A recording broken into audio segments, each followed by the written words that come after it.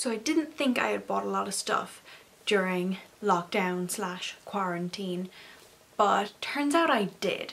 Welcome to my What I Bought in Quarantine 2020 haul. If you're new here, I'm Anna Mae. I recently finished my master's program and I'm currently living at home in the west of Ireland. Be sure to subscribe to my channel if you enjoy this video and you can follow me on Instagram over at May by Design or if you're a fellow needlepointer like myself, you can also follow AMK Needlepoint. I want to try and justify this by saying that this is stuff purchased from I believe even maybe a little bit before lockdown so that would be February up until now, which is September, which in fairness is a very long time. I'm not sure if it really justifies everything I've purchased, but let's just, let's just get rolling, shall we? I don't even know where to start. I will say I also bought some stuff from Everlane. So if you've been keeping up with that drama, I'm not including that in this haul. I still wear my Everlane clothes because I think it's a waste not to. Uh, they're really high quality clothes in my opinion and they're some of the only jeans that fit me. But yeah, we're just not going to show them here today. I also think it's kind of ridiculous that I've purchased these things and I'm not really going anywhere. But, you know, so the two things I'm kind of excluding from this are hair care products and makeup products. I bought some stuff from Colourpop, but it was like a pretty small order. That said, I am in love with everything I bought. Maybe I'll do something on that another time. And then hair care stuff. Um, I wear my hair. This is my natural hair texture. I've made videos, maybe I'll link the playlist here, uh, of like hair videos before, so we don't even need to go into that right now. That would make this way longer than it's already going to be. I'm gonna stop blabbing and get into the actual haul. So the first two things I'm to show you are shoes. I got these shoes. Both shoes are most of the stuff is bought from ASOS and the two pairs of shoes I have are both purchased from ASOS and their ASOS design brand. So I got these cute little block heel sandals. I'd wanted a pair of sandals like this for a long time and it was hard to find a pair that I really really loved. I knew I wouldn't really wear black ones as much so I was looking for like a white or a gold and I love the square toe on these so these were a pretty reasonable price as well and I found the ASOS design shoes to be pretty reasonable quality as well. I got these super cute shoes. Um, I have not worn them outdoors yet. Shocker. The other pair of shoes I got are these boots. I got black heeled boots last year from ASOS. Again, ASOS design brand, but they were a um, like a refurbished leather kind of situation. And they were heeled boots, but they weren't, the heel isn't massive on them. And just how my ankle and leg is shaped, it, I need a much higher heel for it to be noticeable. Also, I am very short. So we like a higher heel. The heel on these looks pretty reasonable on camera. In person, they are quite high. Um, are they comfortable? No. But do they need to be? No, not if they're this cute. I feel like I'll be wearing these a lot. They come up pretty high on the ankle, which is kind of hard if you're like me and have thick calves.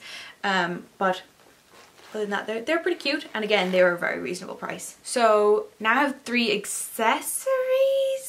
Uh, I would probably call them more like clothing adjacent uh, because they're all very much in their own categories. The first thing is this bag, which kind of got, got a little smushed, but it actually retains its shape very well. This bag is from a brand that I'm not sure how to pronounce and I should ask my friend who speaks Spanish. I'll link their website down below. So these bags are made in Malaga um, they're made from an eco leather, so it's like the waste product of the tanning process, which is a very polluting process. So they use what is left from that process and they um, like mix it with, not vinyl, but um, something similar. If you can kind of hear the sound, it's really flexible um, and it kind of has a leather look, but it isn't leather, but it contains leather if that makes sense. I feel like that's very confusing. Uh, I'll have the style name of this bag listed down below because I this was the kind of style that I was really looking at but there weren't so many photos of it online. Uh, obviously I got it in a bright red because I like bright colours and I got this really long strap. I think it comes with this you'll see this really long strap.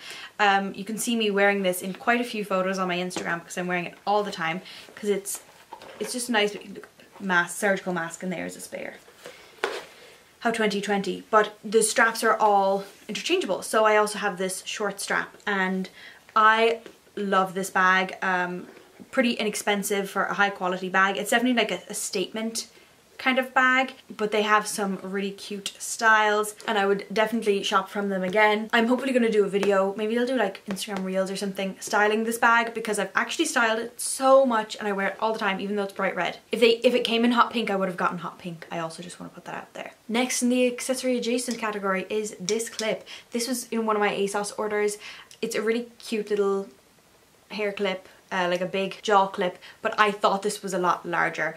Um, as you can probably see I have quite a bit of hair. My hair isn't even particularly thick but it's quite long. It looks not super long because it's quite curly today. It's weird. It shrank a lot when I washed it last night but um, it actually comes down to almost at my belly button when it's straight. So this clip is very small. I should have looked at the measurements but I thought it was going to be larger. I thought I'd be able to clamp all of my hair in the back but I use it just to like put it on top of my head and you know just pull half of my hair back but it's pretty cute and it actually seems very good quality for just ASOS because I go through a lot of hair accessories. So this one I never thought I'd really be like necessarily talking about online but uh, it just came out of the wash. But it is a bra but it's more of a bralette but you know what is a, a bra? What is a bralette? Do you know what I mean? Uh, from Organic Basics you've especially if you're in Europe I think you've probably gotten ads for these or else it's just me and getting like marketed slightly more eco-friendly products like the bag and this. I had seen this advertised like day and night and this was at the beginning of lockdown and I was like you know, we're gonna be here for a while. I'm gonna be writing my dissertation. I might as well get myself a really comfy bralette. This is a game changer. It is like 40 euro, so it's pretty pricey for like, would you're like, oh, it's like a little cotton crop top. It's like double lined with like such high quality, obviously it's organic cotton, that's organic basics. Um, it's got a th really thick band. The thick band isn't great for me because I have such a short torso, so it kind of rolls up if like it just doesn't work so well. But the quality of this is incredible and it is so flattering. I usually really don't fit into typical size bralettes because I need like an extra small band but then like a medium cup kind of situation. But this is a small I could nearly go down to an extra small for the band. It is a little bit loose. I have like I have to wear it on the tightest hook but it also has, it has three hooks at the back, but this, I cannot recommend this enough. Obviously I got the black one, I'm almost certainly going to get the nude one because I'm going to be wearing this in the winter like under jumpers and stuff. It's just, at least, I, I've seen a lot of people with the other style, um, which is more of a crop top style and has a little keyhole, which I think would suit different bodies. Um, but for me, this one is the winner. I cannot recommend this enough. They have free shipping sales, I think is the only kind of sale that they ever really have. Um, I haven't tried any of the other stuff because it's kind of expensive, but if this is anything to go by, it's worth it. If you're gonna take any recommendation from this haul, please try this. So, skincare. A lot of people got really into skincare over lockdown and quarantine. Um, I've always had pretty bad skin. Hopefully you can't tell that right now with the buckets of makeup I have on my face, but I've had moderate to pretty pretty severe cystic acne. Now I would only say it's it's very mild. Um, but since I was about 14, I'm almost 24. That's awkward to say. So a lot of the products that people were, you know, Hyram approved, I was actually already using. So I added a couple other pieces um, so I was already using the niacinamide and zinc and the CeraVe foaming face wash. They were already my two staples. Since then, I did manage to get my hands on the AHA and BHA peeling solution mask. This is okay, nothing to write home about. Again, I have problematic skin, so I think it skincare products work differently for different people. I think maybe as I continue to use it, I will have better results. And then I also got the cold press borage seed oil, which I think is, is it safflower oil is the other name for it? This is nice, but it definitely has a smell that I don't like. It's not a strong smell, but it's a smell I don't like. So I'm not quite sure what I'm gonna do with this. Nice if you're feeling a little bit like puffy and you just want to like massage your face, then it's a good option. It didn't break me out when I put it on, so I think it's definitely more of a, like an acne safe option. It's fine, nothing crazy good. What is crazy good is this. This is not from The Ordinary, it's uh, from a brand called Salcura. I think I got it on like Beauty Bay or something when I was ordering other stuff, like hair stuff. But it's Anti-Acne Active Liquid Spray, max strength.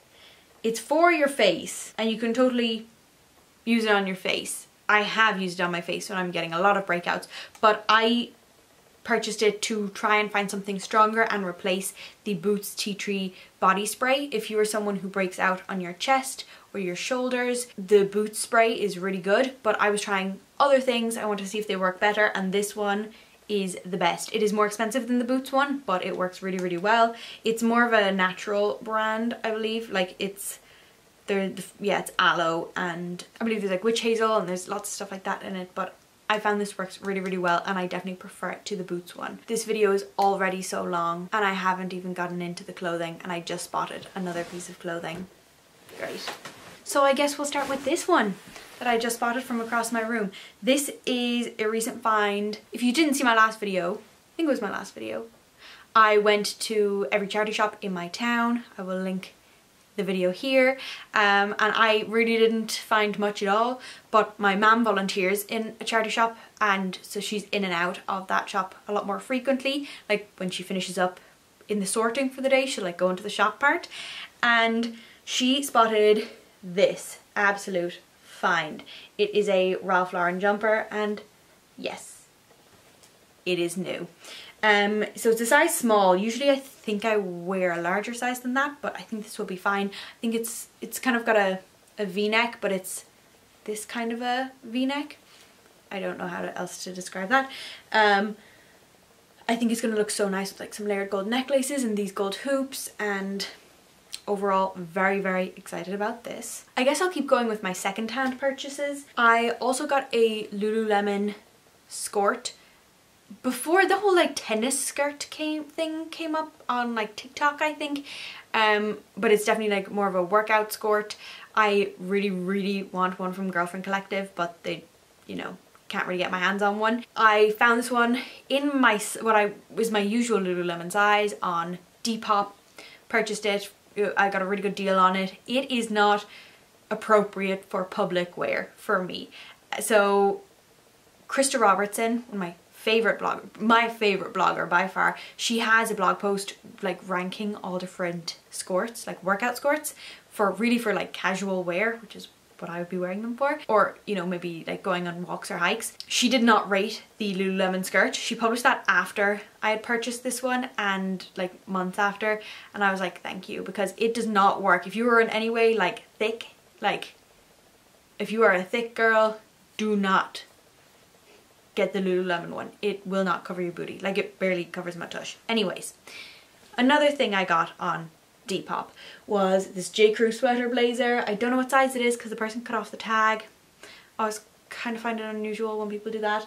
Um, it's a nice baby blue colour. It's definitely not the colour I would go for if I was purchasing it. Like if I could choose a colour, I wouldn't be choosing this one. I feel like it might wash me out a bit. I would probably go for the hot pink or the camel or navy but this was a mad good price and I'm not sure if I will ever buy one full price so I jumped and I got it. It's the Sophie sweater blazer I believe is what it's called but I think I got this for like 35 euro something wild so not 170 or whatever they are full price. If you know me you know I love Lilly. I found this absolute gem on eBay. I think I bought it from someone in the UK even. It's a US 8 but it fits me well, which is kind of unusual because usually I size down quite a bit for Lilly stuff. It's so funny, it's like such bright colours, it's throwing off the, the lighting in this. Um, it actually fits pretty well. I, if anything, I need to get the straps taken up because as I said, my torso is very short, but I would definitely need, like, I think the six would actually be too tight around the chest. So that's surprising, but honestly this is so cute with white jeans. I didn't get that many opportunities to wear it unfortunately, but I just think this is like such a classic Lilly print and such a classic style. I think it's the pearl top, don't hold me to that. And finally, let's get into the new clothing portion of this. So back in January, February I think it was, Gal Meets Glam collection, which is Julia Berolzheimer, formerly Engel, uh, her clothing brand, they had a big sale and I decided to finally purchase something from there. Little did I know it was actually the beginning she announced then about a month later that it was their closing down sale. They were pulling the plug on the Gal Meets Glam brand. She might be rebranding in the future but that was a whole interesting thing. I did think it was interesting she said that she wasn't really happy with the quality of some of the garments she was producing because I know people had said before that the quality of Gal Meets Glam is amazing. I personally did not think that um, compared to other higher end but like you know mid not mid-range but like higher end brands like when we're talking about like Lilly or something like that to compare Lilly Pulitzer quality to Gal Meets Glam it's just not the same. I feel like this is something I could find in TK Maxx. And I know that's a little bit harsh but the styles are beautiful. If that's the style that you like it can be hard to find stuff that's so classic but um I was not super happy with the quality so I'm very glad I purchased them at a good good sale price not full price. I'm not going to insert try on clips because there's a so much stuff and b a couple of these things need to be altered. I just haven't done so because coronavirus. Um so I got this style dress. I cannot remember the name of it. It is so beautiful on top. I got a US 6 in this and it fits, I would say, pretty true to size. It's pretty long. I know that she does petite sizes, but there were no petites in the styles that I wanted. So I was like, it's fine. I can just get it like taken up because a lot of petite stuff, they just shorten it, you know, from the bottom. Whereas I'm gonna have to get it adjusted on the top anyways. I would definitely need the six again for the chest um, the colours in this are so beautiful, but I definitely need to get it taken up because even as a midi, it's like way too long. Um, it's almost down to my ankles. I really like this dress, but the finishing on it is not amazing. There were a lot of like threads hanging off and like there's threads hanging off and stuff like that. I used to work at a boutique and when we would get new shipments in, I would like look at the items and I would make sure that they were fully intact and there weren't like seams that weren't straight or threads coming loose and, and stuff like that. I feel like that's pretty basic especially when you're dealing with higher end items so I'm very glad I got these on sale. The other dress needs a lot of adjustment. I got this in a US 8 so oh I have the tag here. No it says do not remove this tag. Okay oh no here. Okay so it says ruby but I think ruby is obviously the color. Uh, it is this really beautiful one shoulder dress with a big bow on it. It is so cute, so Christmassy. I can't wait to wear it. Again, this needs to be, I think it's supposed to be like a slightly longer skater skirt. I'm going to be getting that you know, really raising the hem of this because right now it is not a flattering length. I would say it's kind of tight around the the hip region for a US 8 and for a skirt that's cut like this, you know, a lot of the models that you see it on are very slim and they're very like narrow. I'm definitely more of a curvy person. Um, I can wear from UK sizes. I wear stuff that's a UK 8. I wear stuff that's a UK 14. I'm just, I just don't really work with standard sizing. But this is fine. It fits me well around the chest and like okay around the rib area. But like this region here, not the cutest, but overall I'm still happy with that purchase, but extra happy that I bought it on sale. I've always wanted a pair of denim shorts, but I didn't really or don't have the body type for them, but then I was like, I really, really want a pair of denim shorts. So I decided to purchase a pair. I got some from Hollister. They are the high-rise vintage short in a four inch inseam. Um, these honestly fit really well as far as denim shorts fit on my body like they they fit. Uh, I got them in I got them slightly larger than my normal size and I'm glad I did. I just wanted them a bit more roomy. They are a little longer than like really cute ones at the front but I need that for the back. I just wanted to have a pair of denim shorts that I could wear with a t-shirt because I just didn't have that option before. So it was always like a dress or maybe a skirt then you had to kind of dress nicer or else jeans and I didn't want to wear jeans because it was warm. So I decided to go crazy, get denim shorts. Somewhat bizarre purchase I made uh, a couple weeks ago is this dress, which I will definitely be, it will definitely be in a video um, that I'm hoping to do for like reels, maybe for, for YouTube as well, um, styling a certain bag, but it is a big old tiered dress. It was 25 euro on TK Maxx and I saw it and I was just in love. I love the light green colour. It's quite flattering on me, my hair colour. And then it's a big old big old princessy skirt and I just love it. A kind of a sad purchase. It's a very beautiful dress but it's kind of a hurts my heart a little bit is this dress from Boden. Boden have really really nice stuff. Some of their stuff is a bit like mumsy if you know what I mean uh, and I don't do jersey dresses specifically but they have some really beautiful shirt dresses. So I got this brown kind of a reddish brown um I don't know what they call this color shirt dress and I love it so much. I got it in a 10 regular. It actually fits fine in the upper body surprisingly. Uh, it's a UK 10 obviously. Um, but it's got a big full skirt and the reason this is kind of sad is because I actually purchased this for a school trip but it was like a school going networking, touring, um, international organizations in Geneva. Uh, yeah, that didn't happen. So that was supposed to be at Easter time, so I purchased this obviously well before everything got cancelled um, in hopes that I would be wearing it in, you know, the late spring in Geneva, but it still has tags on it, so that's cool. Kind of related to that, I got this pink blazer um, just kind of as a as a casual wear item but also as like a casual workwear kind of an item. Um, it's slightly longer which doesn't work so well on my shape but it's still pretty cute. It's from the YAS like the YAS brand that's on ASOS and I got it in a medium um, but it's a petite I think. It's a UK 10 medium is what it is actually so it fits really really well and lastly I know there's just so much stuff uh, I got two sweaters from ASOS. One of them is ASOS Design, so like ASOS own brand. Um, I'm pretty unhappy with the quality of this. I know it's like a, a small fitted sweater, but I just don't think the quality is there. I think I'll wear it plenty. Um, it's kind of a wide neck, really lightweight knit sweater, like a ribbed sweater. Um, long sleeves. I will be wearing it as a layering piece all the time, I know that, but I just would have thought, I've had really good quality pieces from ASOS Design before, not super excited about that and then I also got this lovely cardigan from Pimkie um, and it has some recycled fibre in it but like that means that means F all, we know that. And it's just a cute little grey cardigan and it's not too long, which is usually an issue for me. This would hit like right at my hip, which like at the top of my hip, which is pretty unusual because I, as I said, so many times I have such a short torso and I'll be wearing it all the time during the autumn and winter. If you're still here, congratulations. That was a big long haul of me just rambling through all the items I purchased during quarantine.